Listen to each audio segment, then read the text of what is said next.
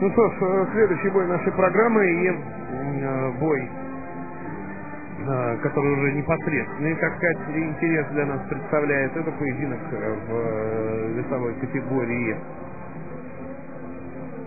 до 54 килограммов. Э, Рымкуль Малахбеков в финале против поляка Роберта. Ты как глаз Александр 54? Да. Вы знаете, я боксировал 51, 54, я выиграл э, чемпионат Европы 51, 54, 57 и 60. Сейчас переходил из веса в вес. Да, то есть я много не задерживался, потому что организм рос. Вот. Ну, у вас, да, и 54 это неизвестный вес, я очень много боксировал в этом весе. Я сориентировался в данном случае на результаты э, Московской э, Олимпиады. 57 боксировал. Да, 57 Московская А и 57 54 Монреальская. Да. А потом, э, после Московской Олимпиады я перешел 60 килограмм уже. Вот. Ну, нельзя держать себя, и поэтому, поэтому крепок и здоров. На другом конечно, я хочу сказать, что, дорогие любители бокса, это вещь такая сложная, и надо к ней относиться очень и очень грамотно. Кстати, э, между прочим, вот э, пример современного э, бокса, вот современной молодежи. Сборная команда страны не гоняет вес. То есть я гонял там килограмм 6. Мои там друзья по сборной 5, 4, всех был лишний вес, и все эм, гоняли для того, чтобы стать на весы и выходить на ринг. В сборной команде, вот он боксирует 71, или там 75, он весит 76. 54 боксирует, весит, вообще весит 50, э, 55. То есть одна только ты весит. Вот меня это удивляет. Это вот или современный лад, или лень, или просто, или, или, или, наверное, так лучше, наверное, так, так легче удержаться долгое время в составе сборной команды. Не Ну, знаю. вот я на самом деле помню историю с Геннадием Ковалевым, э, которому приходилось там чуть ли не по 8 килограмм гонять для того, чтобы вписаться в вес А все-таки 54 килограмма, а перейти в следующий он не мог, потому что в следующем был Тищенко, олимпийский чемпион уже к этому моменту. Нет, э, в следующем был 57, у нас был, да, был Тищенко, Тищенко. 60 Харченко на Олимпиаде, да, да, это правда. Но а, Гена очень много гонял веса, ему было очень сложно, и вы знаете, он боксировал 54, мы с ним одного роста, я тоже боксировал 54, и все, вот а, его историю с гонки, то есть а, я все это знал, я ему давал советы, ну вот разговаривал, как, что, чего лучше это сделать, как лучше подойти. А, но для меня был шок, это, это, наверное, ну, единственный пример вообще в истории любительского бокса. Он с 54 сразу перешел в 64 килограмма. То есть минуя практически два веса. Ну, он как раз и говорит, наверное, достаточно так косвенно все-таки, но говорит о том, э, сколько на самом деле приходилось гонять. Достаточно спокойно начинается бой, и э, поляк э, гораздо более опытен, но прямо скажем, что никаких особых достижений на любительском ринге у него нет. Ренкулю Малазбекову нет еще и 20 к этому моменту, но э, турнир э, для него прошел очень неплохо. Э, У него был э, сильный соперник кубинец в первом круге, Косомайор. Но как он вырвал там победу, э, я думаю, что любители бокса смотрели, да, вот эти вот... э, Первая наша программа. Да. Но здесь еще сложность небольшая. Оба боксера, они э, правосторонние стойки боксируют. Это достаточно неудобно. То есть нужно будет развязаться, нужно, нужно посмотреть на соперника. А, и потом стойка у соперника неудобная. Но я думаю, что это дело времени, а поскольку а, Малакбеков это боксер, несмотря на свою молодость в то время, это боксер, ну, большой буквы, это великий боксер. И потом, а, ему уже говорили об этом, у него есть а, такой хорошо точный прием, это навстречу слева по корпусу. Мы его посмотрим, а тем более поляк а, левша и а, болезненная штука печень рядом а, с ударом а, Малакбекова. Мне кажется, что по первым минутам поляк, по-моему, считает для себя задачу на этом турнире уже выполненной. Ну, то есть он не против выиграть финал, но, по-моему, сам в это не очень верит. А Вы знаете, я, наверное, даже с вами соглашусь, потому что вот хотелось бы мне сказать, что когда выходишь на ринг, там, ревешь, там, доказываешь, да как же, финал, на- а на самом деле, на самом деле, может быть, так оно и есть, и поляк думает уже о том, как он будет праздновать свою серебряную медаль. То есть нет вот у него такой агрессии, хотя, хотя, обратили внимание, наверное, обманчивое первое впечатление.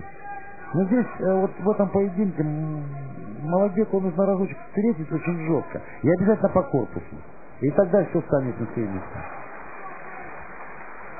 А почему по корпусу? Да потому что это удобно. Я это вижу, для Молодекова это удобно.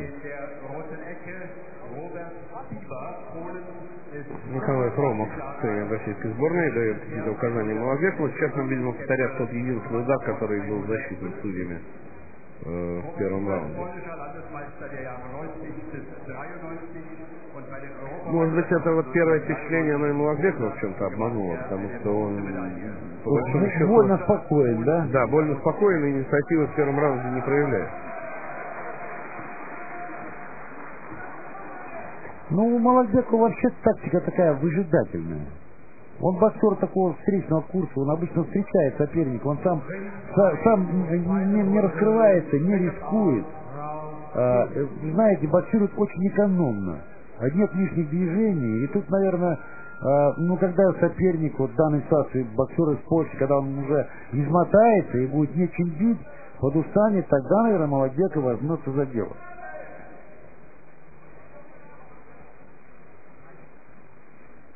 Ну, мне кажется, что тренеры, наверное, по-моему, должны были постараться довести, так сказать, до Малазбекова, что нужно что-то и самому делать, и не только э, выжидать.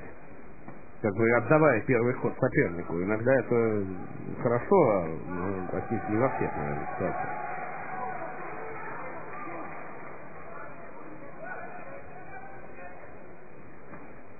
Знаете, вот такое обманчивое впечатление, что а, поляк вроде как бы владеет инициативой.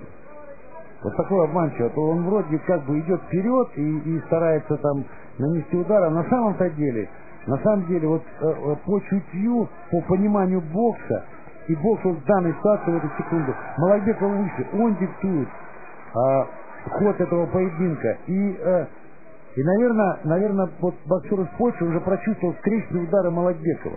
То есть Молодбеков боксирует навстречу. Любое движение поляка он контролирует.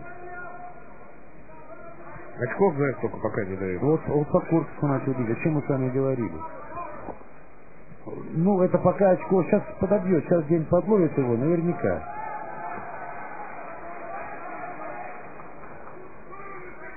Очень экономен, да, не размашистый Малайбеков, экономен, даже чересчур экономен. То есть для своего возраста, для 20 лет настолько хладнокровен, что ну, вот, нет у него эмоций через край ну, не выплескиваются.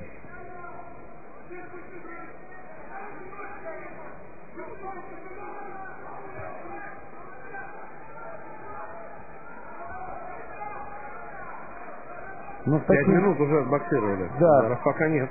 Таким боем, наверное, наверное, пан Полик думает, а чего бы не, побор... не побороться за первое место? Ну а чего?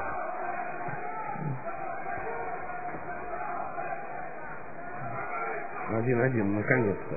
Наконец-то. Денер все прочувствовал, все, сейчас немножко подустанет, прочувствовал. Тут а пару моментов мы с вами проглядели и не зафиксировали. Пару моментов по корпусу у Молодекова прошло. Ведь он хорошо бьет на встречу слева по корпусу. Попадает, если попадает, то это очень болезненно. Вот мы просмотрели, видимо, сейчас пыл-то угатит у пана. Вот видите, по корпусу бьет, удар достаточно тяжелый. В чем еще опасность, я уже, как вы говорите, сейчас с позиции, может быть, более современной боксе, тогда все-таки вот эта электронная система была несколько в новинку. Э, в чем опасность, особенно в финале? Перед последним раундом иметь равные очки. Э, облегчается задача судьям, если вдруг что-то им хочется там сделать. Преимущество нам показывают с самого начала. Ну да, да. У них запас, у них э, место для маневра останется, да?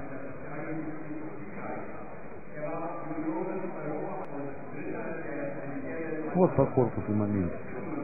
Ну, с другой стороны, э, наверное, тогда наши тренеры вряд ли рассматривали поляка как главного конкурента в этом весе, да, больше ну, да. боксерам других стран. Ну, на как что э, молодец бой э, комментировали, и там он просто вырвал этот бой, ну, буквально там за несколько секунд.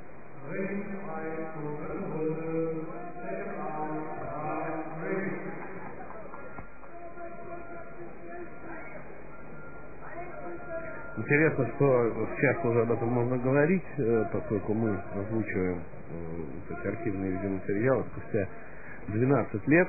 Интересно, что э, олимпийским чемпионом в этой второй категории станет через год венгр Иштван Ковач, который э, вот этот э, чемпионат мира вообще, по-моему, пропустил. Ну, не обязательно пропустил. Он, может быть, не, даже не Нет, стал... его не было. Он, нет, он, может быть, даже не стал э, чемпионом Венгрии. Он, может быть, в состав не попал. Ну, может быть, да. Но при этом он был чемпионом По корпусу пошел бить. чемпионом мира 91-го и стал чемпионом мира в 97-м. А в Барселоне в 92-м на Олимпиаде получил бронзу. То есть наверняка это был все-таки первый номер венгерской сборной.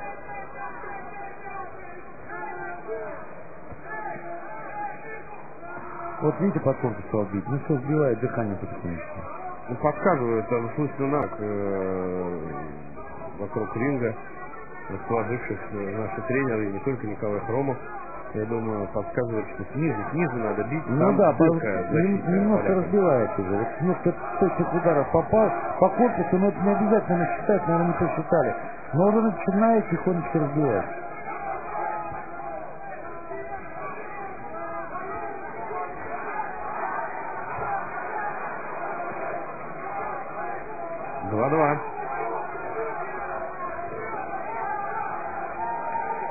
3-3. Какой обмен пошел. Сейчас я думаю, что преимущество на стороне молодости э, должно быть.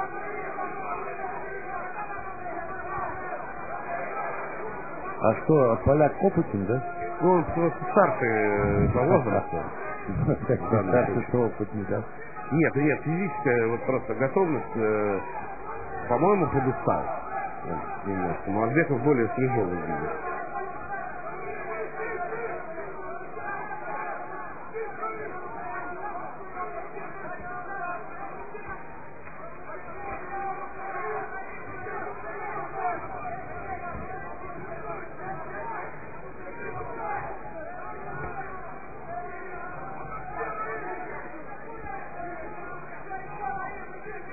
Естественно, что тренеры в курсе счета, поэтому подсказывают своему боксеру, что он проигрывает один удар.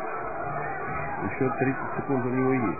Но вот эти движения, они стали как-то более размашистые, но при этом менее концентрированы. У. То есть он машется, он машет, но точно не попадает. Я хочу сказать, что, вы знаете, я, откровенно говоря, перед этим боем я думал, что Молодеков будет более убедителен, честное слово.